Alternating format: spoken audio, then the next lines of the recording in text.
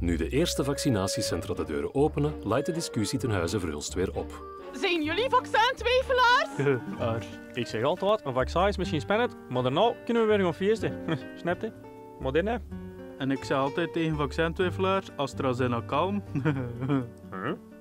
Dat is wel clever. Ga ik niet veel woorden nodig om het te vertalen, hè, maar? Ten eerste, het is Ellen. En ja, ik heb jou kunnen overtuigen. Mm, door jou in elkaar te slaan. Want ik zeg altijd, wie niet slim is, moet iemand keihard in elkaar slaan. Had ze dan nu wel Nee. een vaccin nemen? Ja, maar niet meer slaan, hè. Ik kan keihard mensen overtuigen. Zo heb ik chef kunnen verplichten om met mij samen te zijn. Hé, hey, jij daar met je naam, chef. Vraag het aan met mij. Ja, maar ik, ik ken u niet en ik heb alleen maar... En maar Niks te maar. Marie, hoe jij het met mij aan? Oh, chef. Ik dacht dat je nooit verplichting vraagt. Ja. Mm. Help.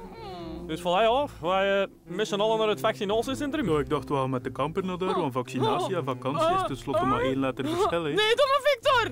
Echt wel minstens meerdere letters. Letters.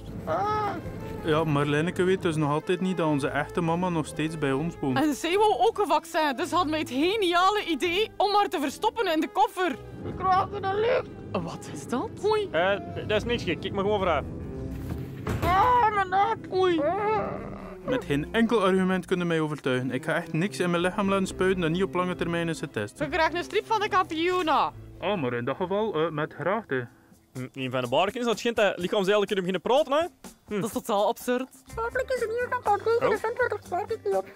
Oh. Pratende pemel, super gênant. En dat is niet alles, hè. Blijkt in theorie dat Bill Gates via het vaccin chips wil implanten ook waar is. Volgend seizoen in de Verhulstjes. Marie ontdekt de Macarena. Hala, palaka, malashaka macarena. Shakalaka makawaka shakarena. Hey, macarena. Victor bakt eitjes. Eitjes gebakken, Victor? Moet daar geen broodje bij voor jou? Eh, nee, mijn papa is superrijk, dus eh, mijn broodje is al gebakken. Hè. Nee.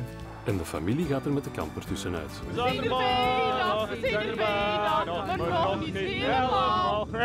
Zeg je wie er al kan draaien? Nee, serieus.